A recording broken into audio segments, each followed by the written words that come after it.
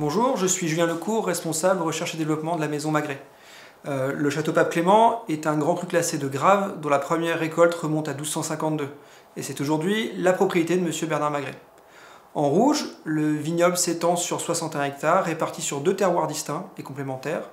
En plus des sols de Grave qui font la réputation des cabernets de l'appellation, nous avons la chance de posséder des terroirs argileux dont la fraîcheur nous permet de produire des merlots d'exception.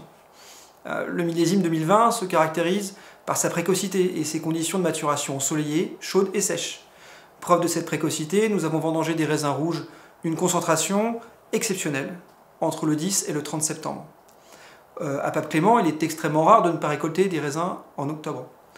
Euh, le Cabernet Sauvignon, les Cabernets francs se montrent particulièrement à leur avantage sur ce millésime, avec des tanins de velours et une densité remarquable, alors que le Merlot amène une pureté de fruits et du corps à l'assemblage final. En 2020, la nature a su se montrer généreuse et la vigne nous a livré d'un des plus beaux millésimes de ce quart de siècle. Précoce, mûr et concentré, le millésime 2020 traversera les âges et deviendra vite une référence incontournable. Je vous souhaite une bonne dégustation.